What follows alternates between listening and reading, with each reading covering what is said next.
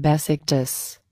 Besiktas is a municipality located on the European shore of the Bosporus. It is bordered on the north by Sarıyer and Şişli, on the west by Cephane and Şişli, on the south by Beyoğlu, and on the east by the Bosporus. Directly across the Bosporus is the municipality of Üsküdar. The Besiktas municipality includes a number of important sites along the European side of the Bosporus, from Dolmabahce Palace in the south to Bebek in the north.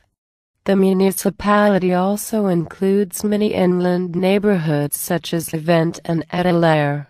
Some of its other well-known neighborhoods are Yildiz, Kuruçeşme, or Ortaköy, and Arnavutköy. The words Besiktas means cradle stone in Turkish.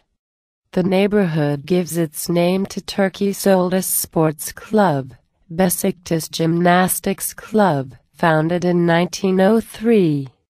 The club's football team is one of the top three in Turkey and has won 13 Turkish Super League titles and participated five times in the UEFA Champions League.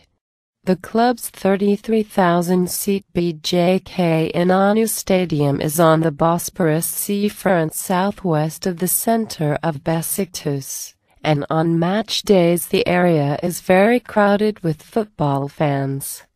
Besiktas JK also has basketball, volleyball, and other sports teams. BJK Akatlar Arena is the home of the basketball team.